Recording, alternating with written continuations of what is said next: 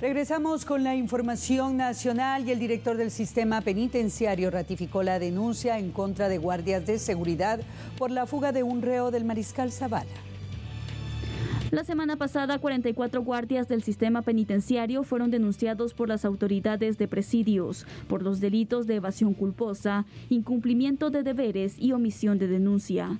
Esto luego de que Cristian Renato Rodríguez Gallardo, alias El Patojo, de 47 años de edad, se fugara de la cárcel de Mariscal Zavala el pasado 17 de noviembre. El director del sistema penitenciario ratificó la denuncia presentada en contra de los guardias. En el factor tiempo es lo que está afectando en el, delito de incumplimiento de deber, ya que pues eh, prácticamente nos dieron aviso dos horas y media más tarde de lo, de, lo que había sucedido en el Centro de Privación de Libertad. Ellos tienen la responsabilidad de hacer un conteo general aproximado de 4 de la tarde y sin embargo hasta las 8.30 de la noche nos, nos dieron aviso de que estas personas no se encontraban en el lugar y que necesitaban apoyo.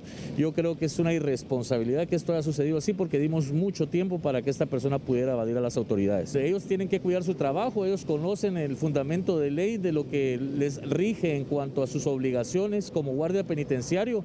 Sabemos que no todos están incumpliendo con esta responsabilidad, pero sí eh, lo que ha, sucedido en los últimos días, esto sí dejó mucho que desear. El patojo es requerido por Estados Unidos por su presunta implicación en una estructura criminal dedicada a lavar dinero del narcotráfico y a casi ocho días de su fuga aún no ha sido recapturado.